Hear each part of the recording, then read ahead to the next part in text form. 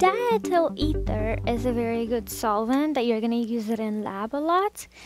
It's, of course, a ether functional group and it has two ethyls on each side. That's why it's called diethyl ether.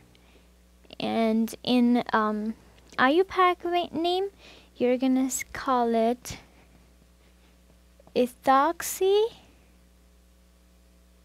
That's ethoxy 1 group ethane. So this is, including the oxygen is ethoxy, and that's ethane. That's how you would normally say it in um, IUPAC version.